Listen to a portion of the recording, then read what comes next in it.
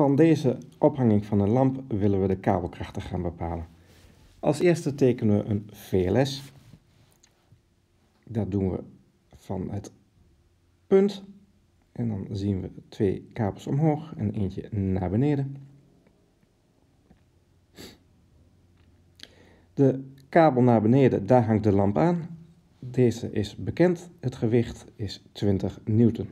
Het is dus een redelijk zware lamp. W is 20 newton.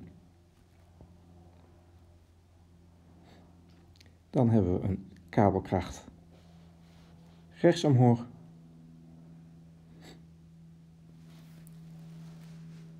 En eentje links omhoog.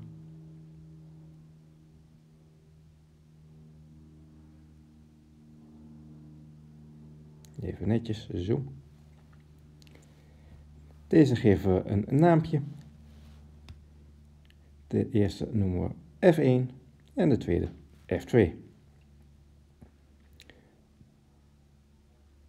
Nemen we even de maten over die in het linkerplaatje ook zijn getekend. F2 heeft een hoek van 60 graden en F1 is een 3, 4, 5 driehoek.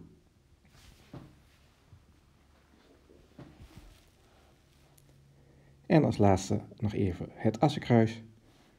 Een standaard assenkruis. X en Y.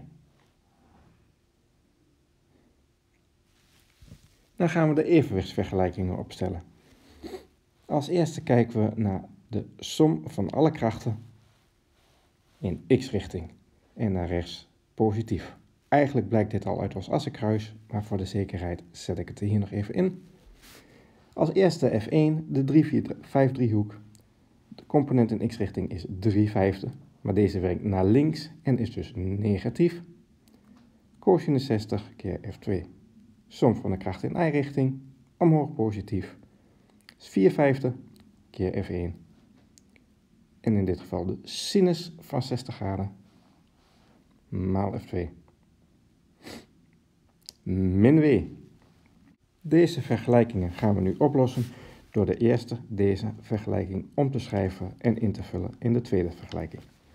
Omschrijven levert op min 3 vijfde f1 plus de cosinus van 60 is een half keer f2.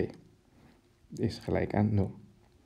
Oftewel, een half f2 is gelijk aan 3 vijfde f1. Oftewel, f2 is 6 vijfde F1.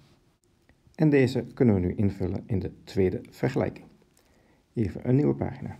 De tweede vergelijking is 4 vijfde keer F1 plus een half wortel 3, even netjes wortel 3, maal F2 en F2 was 6 vijfde F1.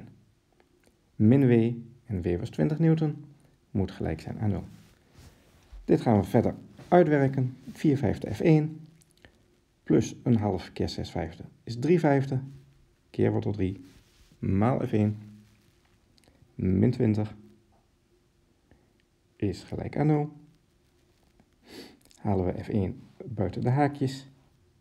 4 vijfde plus 3 vijfde wortel 3 tussen haken keer F1 min 20 is 0. Nou, je ziet al wel waar het naartoe gaat. 4 vijfde plus 3 vijfde wortel 3 keer F1 is gelijk aan 20. We schrijven hem helemaal uit. Uiteraard mag je wat stappen overslaan. F1 is 20 gedeeld door 4 vijfde plus 3 vijfde wortel 3. En nu pakken we onze rekenmachine erbij. En daar komt uit, dat is 10,9 Newton. Om te kijken wat F2 is, gaan we even terug naar de vorige pagina. Daar staat dat F2 gelijk is aan 6 vijfde F1. Oftewel, F2 is 6 vijfde keer F1. En F1 is 10,9 newton. Oftewel, F2 is 13,1 newton.